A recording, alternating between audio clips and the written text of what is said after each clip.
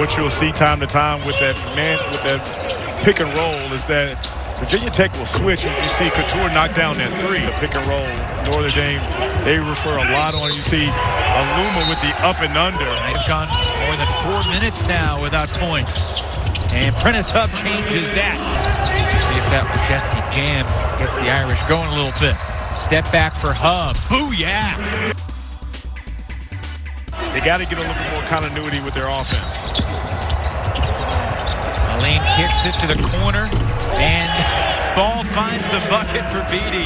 It's time to be able to get that jump hook over her left shoulder, something he couldn't do in the first half against John, Juwan uh, Durham. You see Nick Djogo on the backdoor cut for the finish.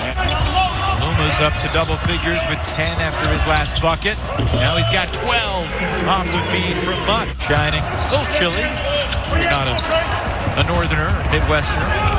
On the drive after steal, better block. Aluma denies the run from Wertz.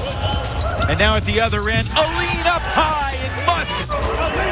Going right back at Laszewski with Mutt. Banging inside. Turn around a couple times and throws it in. Long enough to finish with the contact. Dane Goodwin has eight in the second half.